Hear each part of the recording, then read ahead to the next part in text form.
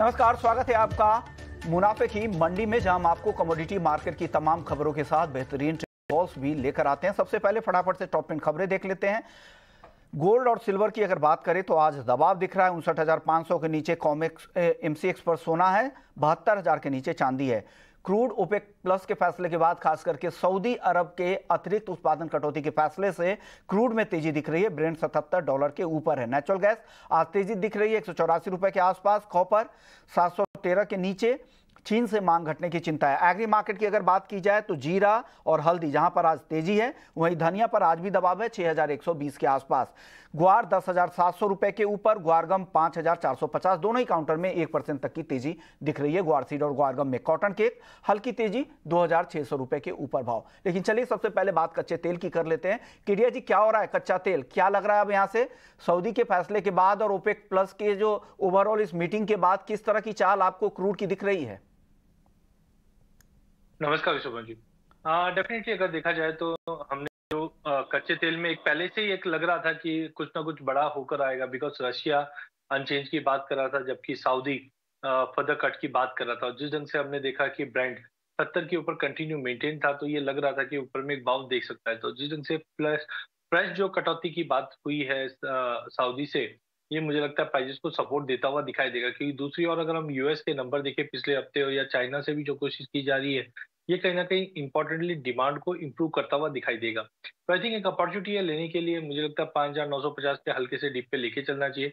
Immediate target तो छह हज़ार अस्सी का रहेगा बट ओवरऑल मुझे लगता है बासठ सौ तक के भी लेवल हम कच्चे तेल में देख पाएँगे। वहीं ब्रांड की अगर बात करें तो नो डाउट एक साइकोलॉजिकल हर्डल 80 डॉलर का है, वो अभी भी मेंटेन रहेगा। But in all buy on drop की रणनीति बना के चलना चाहिए। अंदर से कोई फ्रेश आउटपुट अगर और कोई अपडेट नहीं आता है तो मुझे लगता है जो अभी प्रोडक्शन कट की जो अपडेट आई है ये कच्चे तेल को सपोर्ट देता हुआ दिखेगा। ब्यूटीफुल आप भी सहमत है? आपको लग रहा है कच्चा तेल खरीदना चाहिए यहाँ से? देखिए चार्ट में तो पॉजिटिव है लेकिन जो हुआ डिसीज़न ओपे की तरफ़ से वो कुछ अच्छा नहीं हुआ। पहला बात तो ये है कि जो डिसीज़न ओपेक की तरफ़ से आया था वो सिर्फ़ सऊदी की तरफ़ से आया कोई ग्रुप वाला डिसीज़न नहीं है। जो सऊदी ने अकेले ही one million barrel output cut करने का बात किया है। और जो क्रूडल का तेज़ी था वो almost supported by the US jobs data जो काफ़ी रिसाइलेंट और काफ़ी स्ट्रॉन्ग आया है। और क्रूडल में देखिए नाइमेक्स में बहुत ज़्यादा मैं बहुत तेज़ी का नहीं मान के चल रहा हूँ। Seventy four to seventy five जो डॉलर है डब्ल्यू वो मुझे लग रहा है कि वहाँ पे जब तक वो क्लियर करके कॉन्विंसिंगली ऊपर नहीं जा रहा, तब तक मैं बड़ा तेज़ी के लिए नहीं बैठूँगा। आज के लिए मुझे लग रहा है कि हाँ मोमेंटम पॉजिटिव है, थोड़ा डीप्स आने से बाय करना चाहिए, जो केडिया जी भी बोल रहे हैं। तो 5950 5940 ये सब जो लेवल है, यहाँ पे लेके 6050 6100 के रेंज तक निकल जाना पड़ेगा। बड़े तेज़ी में देखिए वही होता है कि बॉटम में जैसे बना था कि सेलिंग आ रहा था सडनली एक, एक एक्सपेक्टेड भी था कि यहाँ से कुछ हो सकता है। हम लोगों ने उसके ऊपर वार्न किया था सभी लोग ने बात भी किए थे एनालिस्ट लोगों ने भी। तो यहाँ से है थोड़ा सा तेज़ी है बाय पे चलिए लेकिन स्ट्रिक्ट स्टॉप लॉस के साथ कीजिए पाँच हज़ार आठ सौ पचास ऐसा कुछ स्टॉप लॉस मेंटेन करके चलिएगा।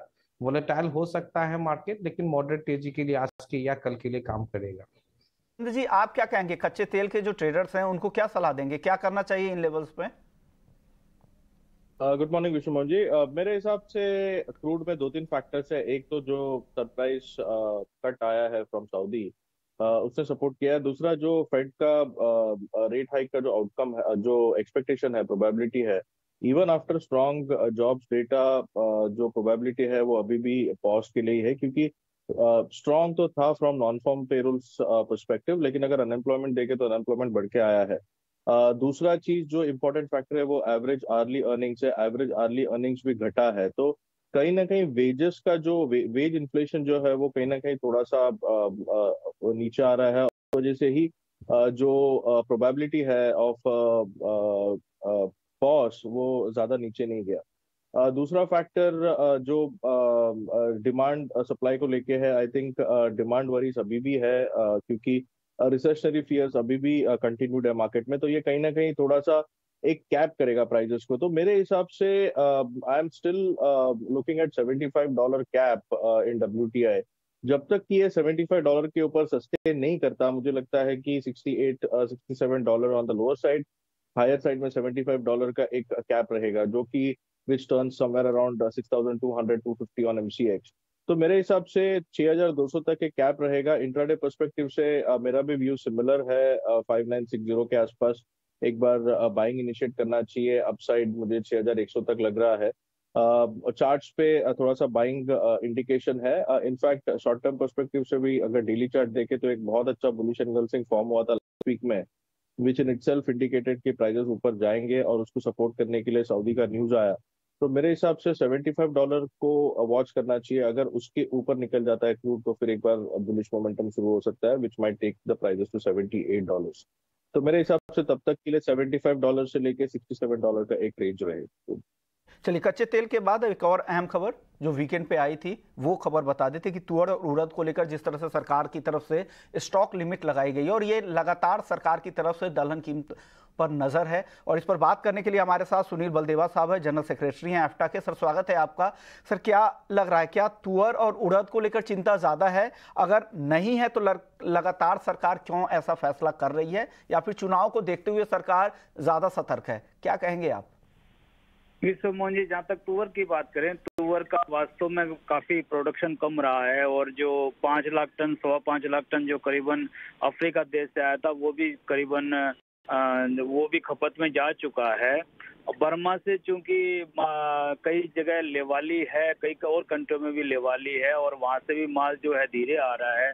पच्चीस, तीस हज़ार टन महीने का आ रहा है, उससे सप्लाई बराबर बन नहीं पा रही है। तो इसके कारण तुअर में मैं ज़रूर कहूँगा कि सप्लाई साइड में थोड़ा सा कंसर्न है और अगले दो तीन महीने रहेंगे जब तक अफ्रीका का माल, अफ्रीका की नई क्रॉप जब अगस्त, सितंबर में आती है, वहाँ से शिपमेंट चालू हो जाएगी और यहाँ पहुंचेगी, तब तक मुझे लगता है कि तीन महीने इसमें कंसर्न रहेगा। जहाँ तक उड़द की बात करें, उड़द का स्टॉक इंडिया में भी सफिशियंट है और बर्मा में भी करीबन साढ़े तीन लाख टन माल अभी भी स्टॉक में है। और मुझे लगता है कि तुअर का देख के ही वहाँ के ट्रेडर और फार्मर जो है, वो उड़द के भाव जो है, वो ऊपर बोल रहे हैं और सेलर कम है। मुझे लगता है इसमें ज़्यादा कंसर्न नहीं है। आज सरकार शक्ति दिखाती है तो उड़द के भाव नीचे हो सकते हैं, लेकिन तुअर के भाव बहुत ज़्यादा नीचे होने की उम्मीद जब तक अफ्रीका की कंट्री का माल नहीं आएगा, तब तक ज़्यादा नहीं लगता है। का वक्त है, सितंबर तक जैसा आप कह भी रहे हैं, सितंबर से पहले आएगा नहीं अफ्रीका से तो क्या लग रहा है, बाकी दालों पर भी इसका असर होगा? क्या बाकी दालों के भाव भी ऊपर जा सकते हैं क्या अगले दो महीने? नहीं, ऐसा ज़रूरी नहीं है। अपन यदि ये देखें कि तुअर का भाव जो है, पिछले तीन दिन में 200-300 रुपए बढ़े हैं, जबकि मूंग के भाव जो है, चार सौ रुपये कम हुए हैं, क्योंकि मूंग की फ़सल जो है, यूपी और एमपी बिहार तीनों जगह की अराइवल अब चालू हो रही है, और आगे आगे ज़ोर पकड़ेगी मुझे लगता है पंद्रह दिन बाद पीक पे होगी अराइवल उस समय मूंग के भाव कम रहेंगे। जहाँ तक चने अपन देखें तो चने भी एमएसपी से नीचे चल रहे हैं। और मसूर की बात करें तो मसूर भी 10 परसेंट नीचे एमएसपी से चल रही है। तो ये तीनों दालें जो है, ये काफ़ी एमएसपी से नीचे चल रही है। उड़द भी, उड़द ही क्योंकि हम इंपोर्ट पे थोड़े निर्भर हैं उड़द को लेके तो उड़द के जब तक म्यांमार के भाव नहीं घटेंगे, यहाँ घटने मुश्किल होंगे। तुअर फिर कहूँगा कि कंसर्न रहेगा तो मैं आपके चैनल द्वारा उपभोक्ताओं को भी अपील करूँगा कि तुअर की जगह मसूर का ज़्यादा यूज़ करें, जहाँ पे मसूर का यूज़ हो सकता है, जैसे सांबर में और दूसरी जगह। वहाँ पे मसूर का उपयोग करना चाहिए ताकि तुअर के भाव भी नहीं बढ़े और हमें ज़्यादा डॉलर जो है वो भी खर्च ना करना पड़े। जो स्टॉक है, उसका फ़ायदा उठाया, जिसकी सप्लाई ज़्यादा है तो मसूर का इस्तेमाल तुअर की जगह कर सकते हैं। बाकी दालें जो मूंग हो, चना हो, जिसकी सप्लाई ज़्यादा है, वो आप घर में इस्तेमाल ज़्यादा कर सकते हैं। ये आपके लिए एक बेहतर विकल्प है। सर, अब आखिरी सवाल होगा बलदेवा जी छोटा जवाब आपसे चाहेंगे। क्या बार बार सरकार से जिस तरह से स्टॉक को लेकर फैसला हो रहा है, स्टॉक लिमिट को लेकर, चाहे स्टॉक के डिस्क्लोजर को लेकर, क्या इससे जो सही कारोबारी हैं, उनमें भी तो डर का माहौल तो नहीं पैदा हो रहा है? एसोसिएशन के तौर पर आप क्या कहेंगे इस पर? नहीं, इस बार ऐसा नहीं है, क्योंकि हमने देखा है कि सेक्रेटरी साहब खुद और काफ़ी उनके टॉप ऑफिशियल जो है ग्राउंड रिपोर्ट से जुड़े हुए हैं और खुद मंडियों में जाके ग्राउंड रिपोर्ट दे भी रहे हैं। इसीलिए हमने देखा है कि काफ़ी आगे जाके स्टॉक लिमिट आई है। तो मुझे ये नहीं लगता कि सरकार मनमानी फैसला कर रही है। सरकार ट्रेड के साथ और इंडस्ट्री के साथ दोनों के साथ जो है संपर्क में है, ये एक अच्छी बात है। आपने वक्त निकाला हमारे लिए। चलिए वापस से नॉन एग्री मार्केट का रुख करते हैं। गोल्ड और सिल्वर की बात कर लेते हैं, क्योंकि गोल्ड और सिल्वर में भी दबाव है। डोमेस्टिक जो फ़िज़िकल डिमांड है गोल्ड की, वो नहीं बढ़ पा रही है। जिस तरह से स्ट्रॉन्ग जॉब रिपोर्ट के बाद से डॉलर में भी रिकवरी दिखी थी, उसका भी दबाव है। गोल्ड और सिल्वर को लेकर केडिया जी, क्या व्यू बन रहा है अब? क्या करना चाहिए यहाँ पे? उनसठ के नीचे सोना है, बहत्तर के नीचे चांदी। दोनों में अब क्या करना चाहिए? देखिए उन्होंने, जैसे हमने पहले भी कहा था कि डॉलर इंडेक्स में एक बाउंस आना चाहिए, क्योंकि डेट सीलिंग का जो कंसर्न था, वो कहीं ना कहीं एक बार गोल्ड को डॉलर को सपोर्ट कर रहा था। जिस ढंग से डॉलर इंडेक्स हमने पिछले हफ़्ते में 104 50 के ऊपर जाते हुए देखा, उसी कारणवश हमने इंटरनेशनल में गोल्ड को 1940 का भी लेवल ब्रिज होते हुए देखा और चांदी में भी लगभग हमने तेईस डॉलर का लेवल भी ब्रिज होते हुए देखा। बट कहीं ना कहीं थिंग्स आर बिन डिस्काउंटेड और जिस ढंग से हम देख रहे हैं कि आगे का जो इंटरेस्ट रेट हाइक सीनेरियो जो बना हुआ है वो अभी भी एक डिलेमा में है कि बढ़ाए या नहीं बढ़ाए। तो I think point two five का अगर रेट हाइक होता भी है तो आई थिंक मार्केट उस चीज़ को डिस्काउंट करके चल चुका है। टेक्निकली तौर पे अगर हम देखें तो प्राइजेस बार बार में हम देख रहे हैं कि 59 200 59 500 के सपोर्ट से उठते हुए दिखाई देता है। हाँ एज ऑफ़ नाउ हमें लगता है ये अब तक कंसोलिडेशन का रहेगा, जो अपसाइड भी कैप रखेगा। तो इंटरनेशनल में मुझे लगता है 1940 से 1980 का दायरा रहेगा, वहीं डोमेस्टिक मार्केट में 29 250 या 300 तक भी मिलता है। लेके चलिए। इमीडिएट टारगेट तो 59 750 का है। बट जब तक प्राइजेस साठ हज़ार दो सौ के ऊपर क्लोज नहीं करता, ये दायरा मेंटेन रहेगा। प्राइजेस 59 के नीचे भी नहीं जाते हुए दिखाई दे रहे हैं। तो ओवरऑल 59 250 पे रणनीति बना के धीरे धीरे लेके जमा करके बाय करके चलिए।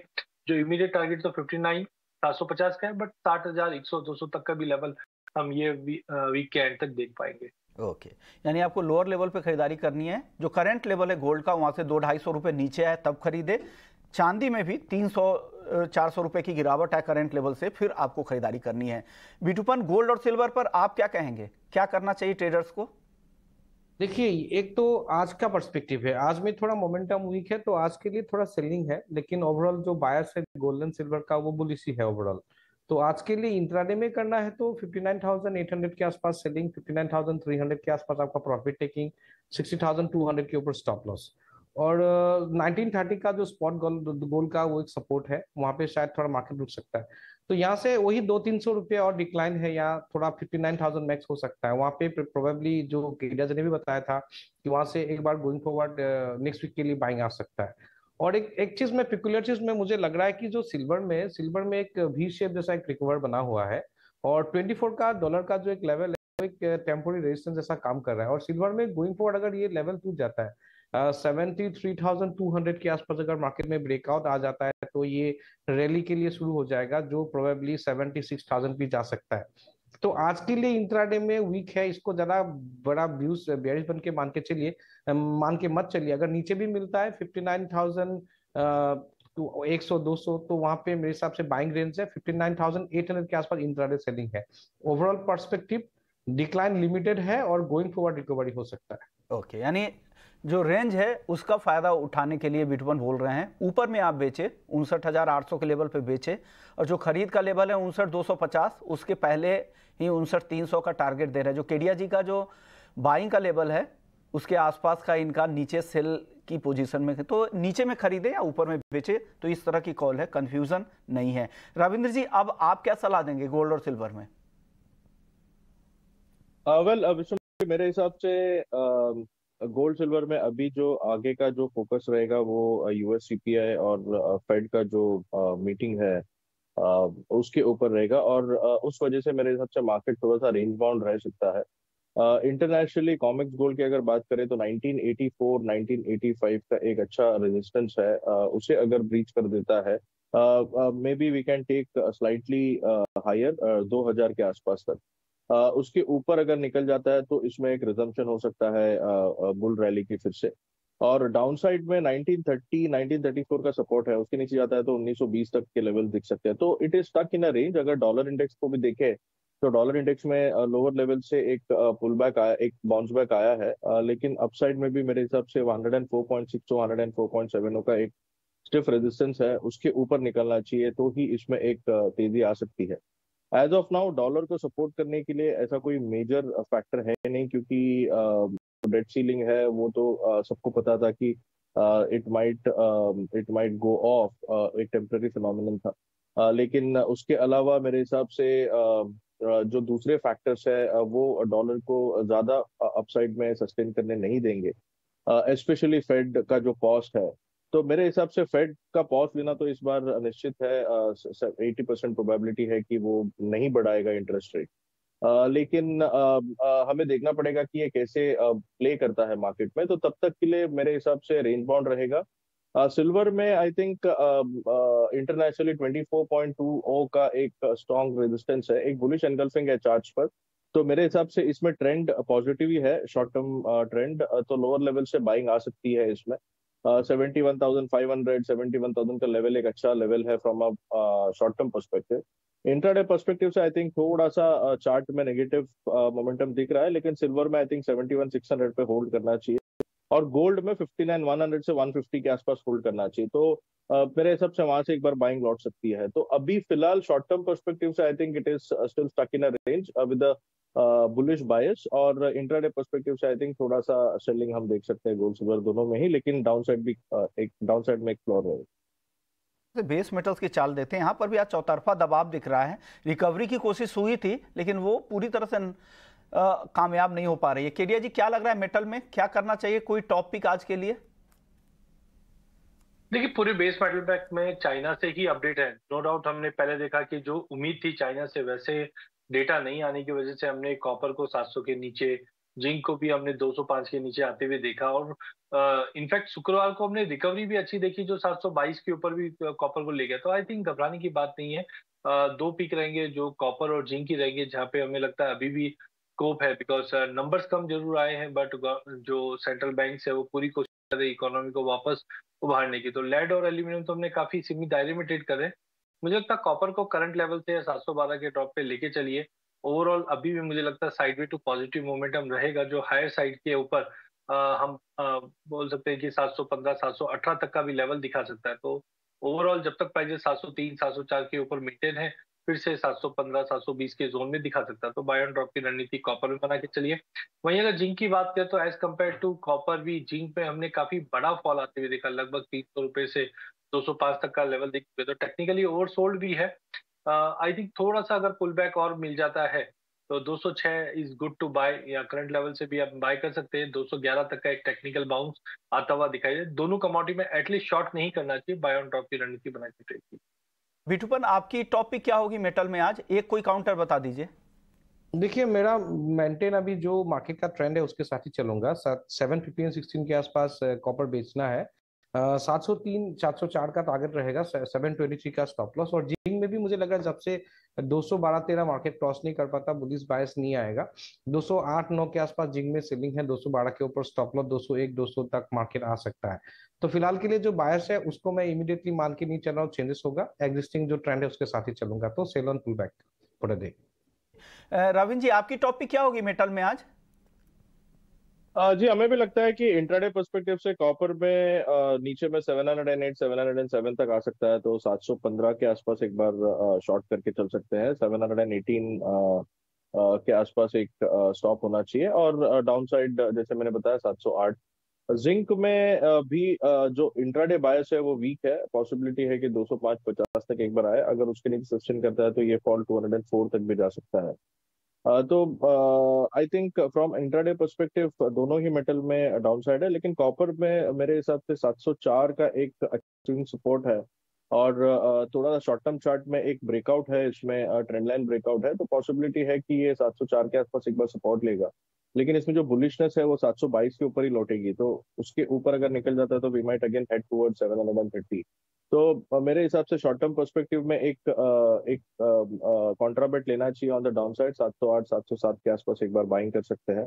सात सौ चार के नीचे स्टॉप लॉस रख सकते हैं, लेकिन इंट्राडे पर्सपेक्टिव से I think seven hundred and eight is a possibility so from a intraday perspective sell on rise intraday के लिए सेल ऑन राइज की रणनीति है। चलिए आगे बढ़ते हैं एग्री मार्केट की चाल देखते हैं। जीरा आज तेज़ी दिखा रहा है, पैंतालीस हज़ार तीन सौ के ऊपर और टर्मरिक दायरे में है, लेकिन कोरिएंडर पर दबाव दिख रहा है। केडिया जी, क्या लग रहा है मसालों में कुछ आज अगर किसी को ट्रेड करना है तो क्या खरीदे या क्या बेचे?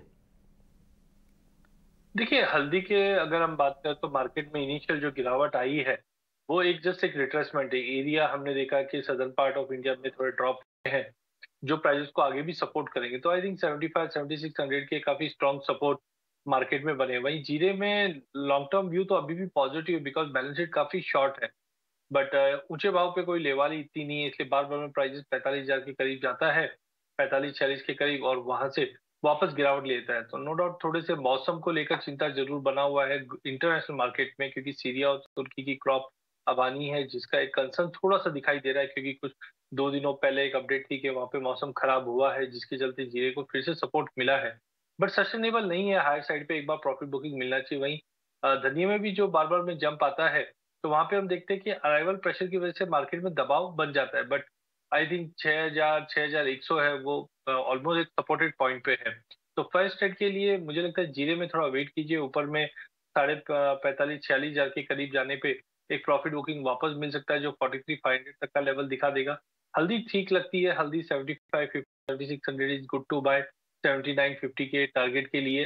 वही धनिया की अगर बात करें तो एटलीस्ट करंट लेवल पे शॉर्ट नहीं करना चाहिए। वी आर एक्सपेक्टिंग के छह हज़ार से पैंसठ सौ का जो दायरा है, उसी दायरे में रहेगी। बट लॉन्ग टर्म व्यू के हिसाब से इकसठ सौ इकसठ सौ पचास is good to buy and hold but उसको लगेगा दो तीन महीना। बट इकसठ सौ इकसठ सौ पचास काफ़ी अच्छे लेवल से धनिया के लिए। और गुआर में क्या लग रहा है? आज हल्की तेज़ी दिख रही है। दस हज़ार सात सौ के ऊपर गुआरगम गुआर सिर्फ़ चौवन सौ पचास पे। केडिया जी, क्या करना चाहिए गुआर में? सॉरी में हमने छियासठ का लेवल गवार सीट में आते हुए देखा। इसके बाद हम देख रहे प्राइजेस अट्ठावन के ऊपर गवार सीट नहीं जा पा रही नहीं चौपन के नीचे सस्टेन कर पा रही। गवार गम में भी हम दस पाँच सौ लेकर ग्यारह आठ सौ का एक ब्रॉडर रेंज बन चुका है। तो रेंज में ही है बट हाँ चौपन सौ चौपन सौ पचास के करीब हम गवार सीट को लेके चल सकते हैं। इमीडिएट टारगेट तो पचपन सौ का है बट दायरे में रहेगा मार्केट ओके शुक्रिया केडिया जी आपका बिटूपन आपका रविंद्र जी आपका आप लोगों ने वक्त निकाला। लेकिन चलिए मानसून की बात कर लेते हैं मानसून में देरी हो रही है, इस पर बात करने के लिए डीएस भाई साहब है आईएमडी से। सर, सबसे पहला सवाल पई साहब आपसे मेरा होगा कि मानसून में देरी क्यों हो रही है? जो कंडीशंस ज़्यादा फेवरेबल हो रहे हैं क्लाउडिंग कंसिस्टेंटली देख रहे हैं अरेबियन सी में तो हमें लगता है नेक्स्ट टू थ्री डेज़ में मानसून ज़्यादा ऑर्गेनाइज होगा। एंड अराउंड फोर्थ जून इधर उधर एक या दो दिन इधर जा सकता है केरल में दस्तक देगा मानसून ऑनसेट लगे लेकिन सर मानसून में जो देरी हो रही है ऐसे में फार्मर्स के लिए क्या सलाह है? पई साहब। देखिए ये जो प्रोग्रेस उसमें कभी कभी डिले होना स्टक होना फिर फास्ट प्रोग्रेस होना ये सभी part and parcel of monsoon का जो फीचर ही है।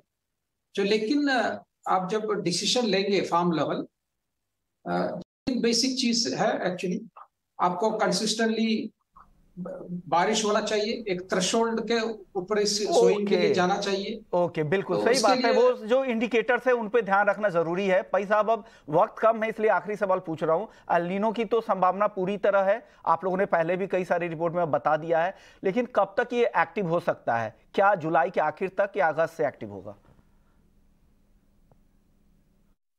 देखिए ऑलरेडी पैसिफिक में वार्मिंग शुरू हो गया। आपका ईस्ट पैसिफिक में है तो you know nearly two degree के आसपास टेम्परेचर आ गया है। एंड सेंट्रल पैसिफिक में where we generally you know defined El Nino उधर भी अभी already threshold point five degree का थ्रेशोल्ड कंप्लीट हो गया। लेकिन the important thing is that ये consistently three two five months जब वो होगा तभी एलिनो डिक्लेयर करेगी। तो ऑफ़ नाउ फोरकास्ट अभी दिखा रहे हैं कि ये कंसिस्टेंटली रहेगा उधर। सो एलिनो का डेवलपमेंट डेफिनेटली होगा। एंड uh, uh, दूसरा एक इम्पोर्टेंट चीज़ है जो ओशन में टेम्परेचर आपका बढ़ेगा लेकिन वो थोड़ा उसका लैग है। दो महीने से चार महीने का लैग होता है। वेन ये जो ओशन में जो चेंजेस है वो लिंक होता है एटमोस्फेयर के साथ या मानसून के साथ। सो so, वही गैप होगा कि उसका इम्पैक्ट मानसून में फील uh, होने के लिए। So during the may be जुलाई अगस्त से ही एलिनो का इम्पैक्ट शुरू होने की संभावना। शुक्रिया पई साहब आपने वक्त निकाला हमारे लिए।